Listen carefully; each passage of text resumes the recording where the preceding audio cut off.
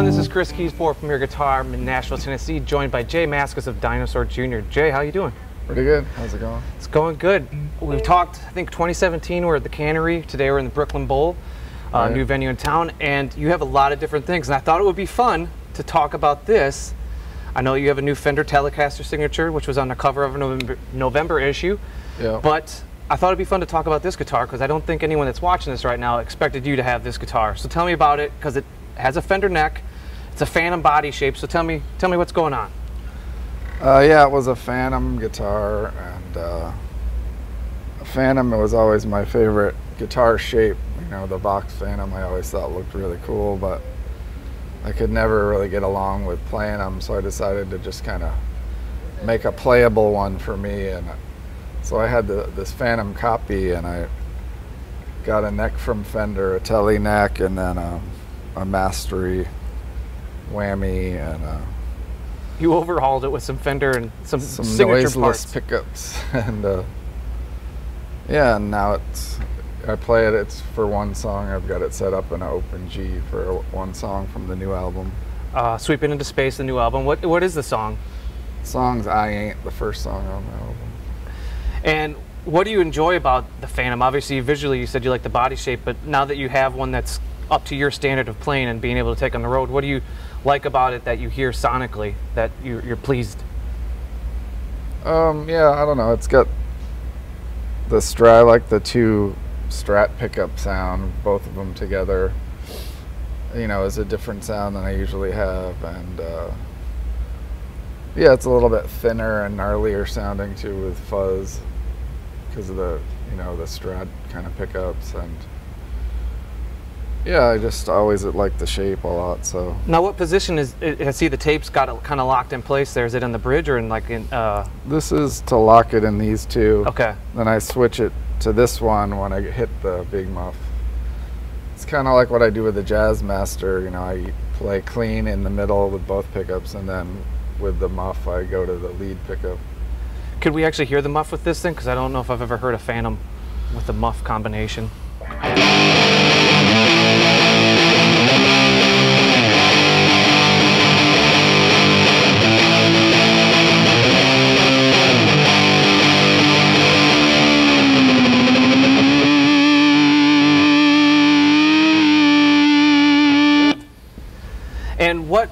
Teleneck is, or uh, I get it's a Telecaster neck, but you said this is no longer available through the website. This is a certain type of neck that you prefer. Yeah, Fender used to sell this neck on the website. It had jumbo frets already on it, and uh, but they discontinued it, I guess. So I tried to get one recently, and it's uh, they said they don't make them anymore. So is this one that you just had laying around at your house, or took it off a different guitar? Oh no, I think I got it from Fender. They Oh. were still making it at the time. Gotcha.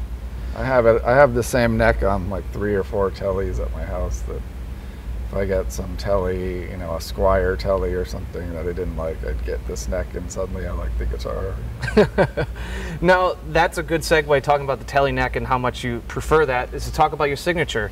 Can we have you pick that up and maybe hear hear what that has to say too? Sure. Now a lot of people obviously associate you for years. I can hold this for you. All right. uh, with the Jazzmaster live, but Yeah. maybe people that aren't as steeped in the J Mascis world know that you've used the 58 top loader that you personally have owned on a lot of the solos for Dino. Yeah, and some rhythm too. Yeah. Like feel the pain, the rhythm on that, in the beginning of Start Chop and the clean kind of. I use that guitar, and um, yeah, I've seen it in some guitar shops, and it's weird because it's like, it's like, why is my guitar sitting in this room? It's not like a guitar I designed or something. It's Yeah, like like- it's just a copy of my guitar. So when I see him, I'm like, why is my guitar sitting there? it's a bit weird. Now, how did you get the 58? Because that's kind of a rare Telecaster, and the fact that it's, I think, was it two years, 58, 59, they did the top loader style bridge. Yeah, I didn't know anything about tellies. This was my first telly, so um, Kind of just fell into it.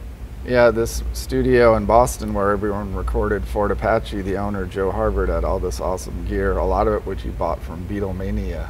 Oh wow.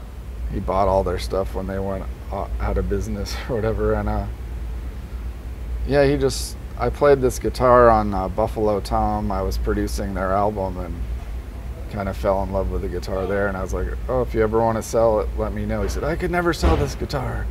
And then two months later, he called me. And Things change. yeah.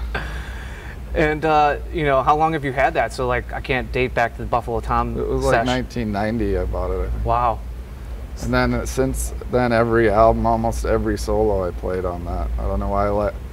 I tend to like what I play more on that telly than any other guitar I have, so I always go to that usually for leads. No, I've I've seen interviews where you talk about you prefer older or older style Jazzmaster pickups because of how you EQ the amp, and so I'm curious how that you know like you kind of have how you figured out the amps that you like in terms of how it's set up. How has that changed with the Telecaster and bringing that on the road? Are those kind of lower output pickups as well? Um, I used to bring the 58 out in the 90s. I'd bring it on tour, and then I just stopped after a while. I, got scared because that was precious. my favorite guitar. Yeah. Um, but now I, I use um, this is a BG 1400, the um, Seymour Duncan Billy Gibbons custom shop. Okay.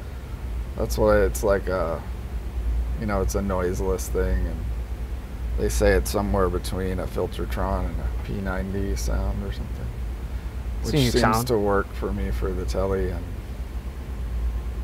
this one, I found the McNelly pickup I really Huh. liked. I guess the guy from Canada. And uh, yeah, that's what I have for the new ones. And the old one, I just have the old pickups. So- So the originals are still in that one. Yeah. Cool. Well, actually, he told me he had a 56 pickup he put in it. Hmm. I don't know why.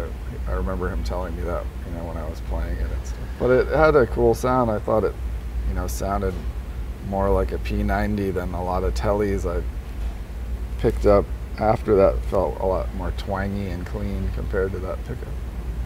Now, uh, when this got specced out for your signature, what things are different or that you asked, you know, maybe you prefer, like you kind of talked about earlier, the neck profile that you like on this one.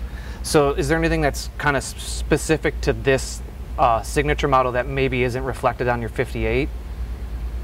Or is it pretty, Um, no, there's maybe some extra holes in the pick guard because it, it wasn't the right number of holes, but other than that, they just kind of copied it. Yeah. Cool. And uh, typically, what are you now that you got this and you're using it on stage? What are you uh, using it for? Maybe the newer stuff, or is it you're using it whenever you want?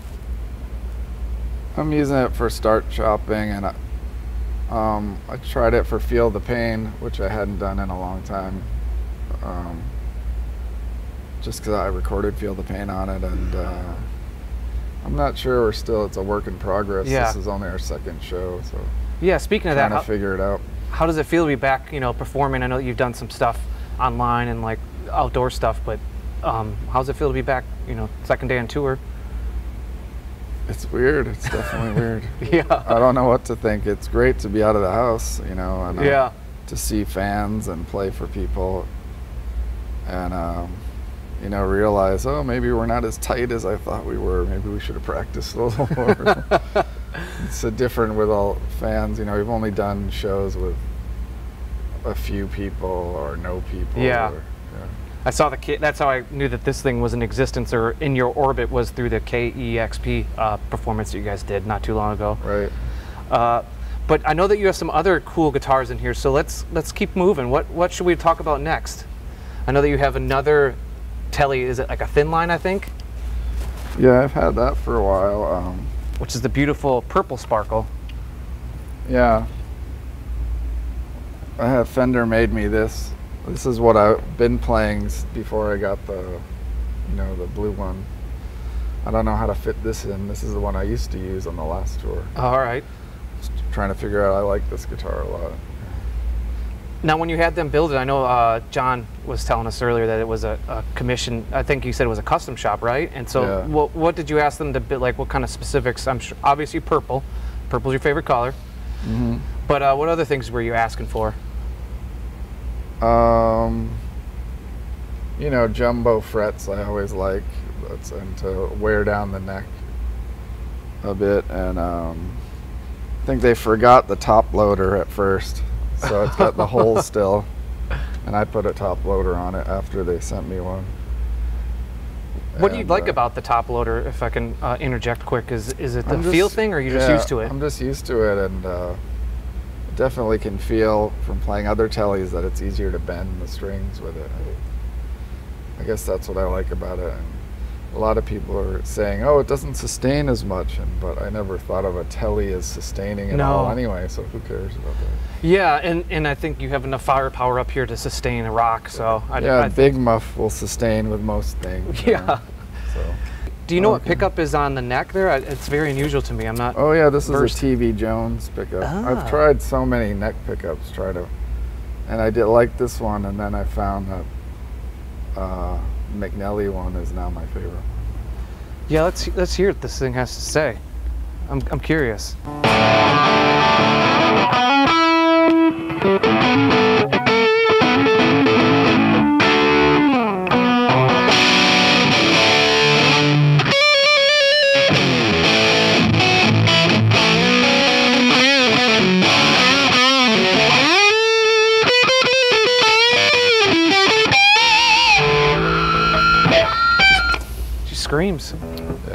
John was also mentioning he had like a semi-hollow Jazzmaster. yeah. I have the matching color Jazzmaster that they just made me. Oh, that's so cool. a thin line Jazzmaster. Although it's pretty heavy, I thought it would be Really? lighter. yeah, checking it. Yeah, it is actually got some weight to it. I was like, oh, this will be great to practice with. It'll be so light, but Not so much. yeah. Um, yeah, Ooh, she's not in tune. Yeah, no. Now, is that something you use, uh, like specifically, or is it a backup to your other jazz masters we're seeing here on stage, or is there any? I don't know. I just got it. trying to figure it out? Yeah, I, I think I'm gonna try it for the encore just to play it. I've never played it on stage yet.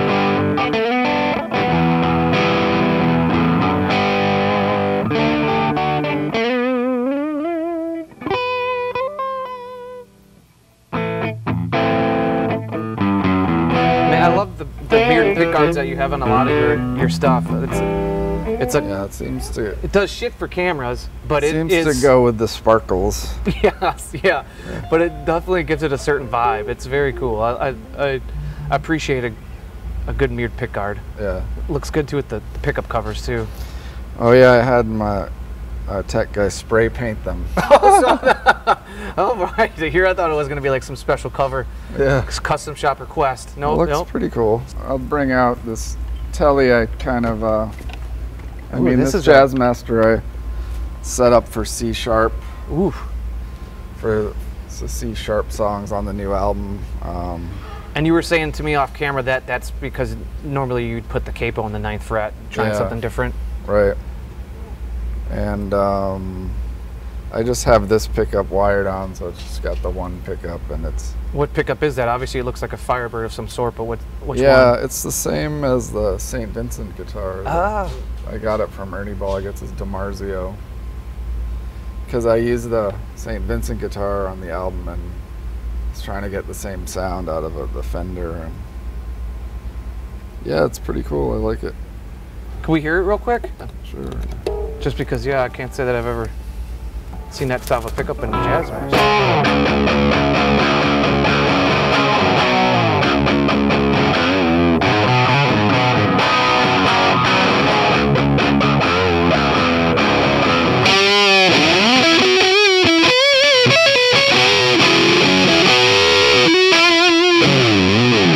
Barks. Now, how, do you have any like not issues, but is it kind of like a learning curve or trying to figure out with the different tension with having the capo and then learning these songs or playing these songs with you know the full scale but uh, drop tuning? Is there any type of difference to that, like a tension thing or Um, intonation? Well, no, because I recorded most of the songs like that. That, okay. And uh, but for other songs, yeah, like "Watch the Corners" was like that. But on tour, I'd always play with a capo on the ninth fret, so I'm gonna try it, you know, with this guitar now. That'll it sounds a lot different. Going. Yeah. like you're ready to play some metal. I feel like. yeah. Well, I would love to see that. Uh, yeah, that tuxedo telly if I may give it a nickname. Yeah, Looks um, pretty snazzy. I asked Fender if they had any guitars that would stay in tune in a C sharp. they just came out with this and they sent it to me. So I feel like only you could get away with that question. If I asked them, they'd tell me to frig off. yeah. But um, I don't know. A Floyd so it's Rose, I my did first Floyd that. Rose, and it's pretty interesting. Yeah. Now, obviously, you, you make the mastery work for you with the Jazz Master stuff. You really, Yeah. but that's a whole different beast with the Floyd Rose. Yeah, um, I, I always like to pull it out, maybe try to I feel like maybe you could. get my Slayer on. Or yeah, you know? Kerry King or Dimebag Darrell. Yeah, I feel like Right. those those are the songs you might need to play in that thing. I have one in mind. So Which one is it? Can I ask? uh, Mountain Man from our first album. Ah, I used to play a Strat on it, a Rory Gallagher Strat, and uh, got stolen. then I got another one, but Ah, but I'd use the whammy a lot. But this will be even more intense than that. So it'll be very dramatic. that'll be another maiden voyage for the guitar tonight, I guess. Let's try out.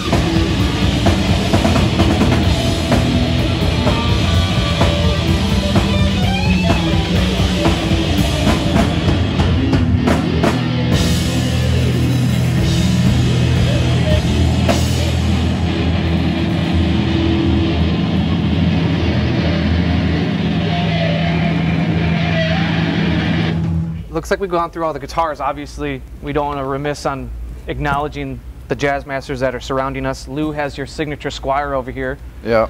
So obviously, we covered these in the last two rig rundowns we've done. So if you want to learn more about these, check out those rig rundowns. So just to save us on time, but maybe I'll have you put on your signature telly here, and then Alright. walk us through your pedal board again. Amps completely the same as the last time. You've kind of figured Yeah. out your sound with that, and you let it be. I appreciate that. Is there anything going on here that is different? Because anyone that checks out your pedal board photos over the years online knows that you have a tiered system in terms of stacking your pedals on top of things. So, is there anything different than the last time? Yeah, I tried of? to stuff a couple mini pedals in there. Um, Which ones would these uh, those be? this SL drive, Okay. I just needed another tone with the telly for a new song that I didn't have enough. So yeah, I like the sound of that, and I'm using the Hendrix vibe Ah. thing. I used to have a chorus, but I'm trying the vibe thing instead. Now, could we hear the SL with the telly? Because you mentioned that's kind of the reason you got it, and then maybe like on and off, just so we can kind of hear the difference. Sure.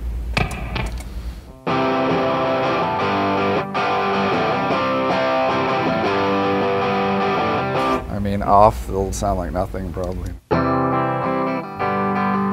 I mean, I also have it to turn it down too. That's another of my tricks. I use the overdrive to like kind of turn it down and have some hair on it also. So it mixes with my setup better. Gotcha.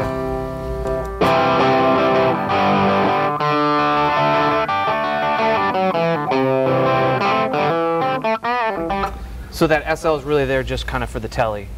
Yeah, right Gotcha. now I, I haven't figured out what else to use it for. And then uh, how you're using the Hendrix, is that just kind of a pedal that you're trying out, or is it uh, get used specifically for Actually, any uh, songs? the same song I was using it on for one part of it. Um, yeah, just another.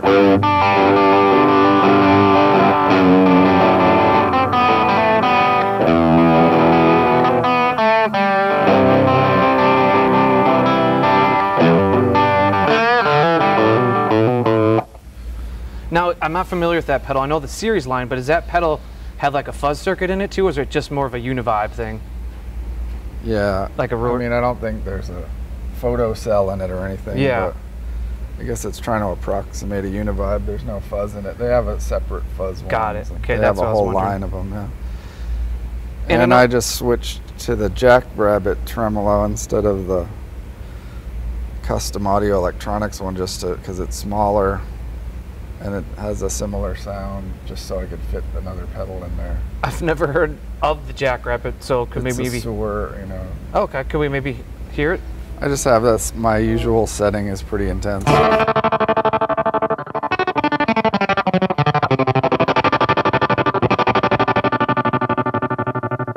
Super chop.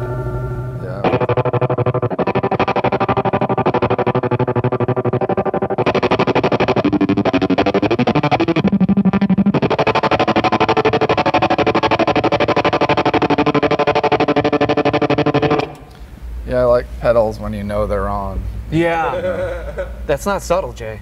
No, I'm not. I'm not that a fan of subtle. Yeah, I can tell. I can Yeah. tell. I can tell. Now, uh, I see that you have the Box of Rock. Obviously, that's your ZVEX pe- pedal you Yeah. did, did with them. But uh, I know, I think it came out after the last one we reviewed it. Charlie's a big fan of it. Was the Wren and Cuff, uh, was it Garbage Patch? Garbage face. Garbage Yeah. Face, yeah. Yeah. And I don't see that on here. Is that something you kind of just use for like studio stuff, or is Or just you know smaller gigs. It's a Uh, copy of that big muff, so I just if I have that, I'll just use that instead. yeah? It's also got a range master part of it, like this Germania thing. So that's both in one pedal. Yeah, I've used it just small gigs around town or practicing or something. Now, is there anything else on this board that you've changed, or is it kind of is what it is? yeah, I haven't changed much except that since uh, yeah since the last tour. Which now it's going almost probably two years, close to two years, probably since you guys were on the road, huh? Yeah, a while for sure. Well, Jay, I, I truly appreciate your time, and uh, I, I think it's awesome that you've kind of brought a few more tricks along. You got, you know, hit up Fender for some cool new designs, and congratulations uh, on the signature. I know you already had the Jazzmaster, you got the Squier Jazzmaster Yeah. as well. Before I let you go, I'm curious because uh, myself and I know a few other guys on staff have the Squier signature. Is there any conversations between you and Fender to maybe release a Telly version uh, in the Squier line? Um, no. No. I guess because the Road Worn kind of is a lower price point than that first Jazzmaster you did in the late 2000s was like a higher end one. Yeah, that's the one I turned into the C sharp guitars. Okay. My first signature guitar. Yeah. Yeah, and then the Squier one kind of met, kind of helped, you know. us- I think they're kind of trying to get away from having signature Squier models. I don't know why. Yeah, as I say, if Fender has any ears to this, I would say don't do that. Because uh, some of us can afford those, you know. Well, Jay, I do appreciate your time. I'll let you guys get on with sound check, and uh, thank you very much. All right, thanks a lot.